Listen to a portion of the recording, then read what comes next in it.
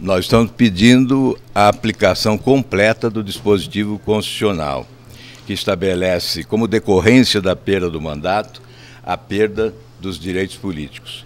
Portanto, a primeira votação é válida para os dois casos. E eu creio sim que o Supremo Tribunal Federal pode perfeitamente acolher o nosso pedido, já que não há necessidade de interpretação da Constituição.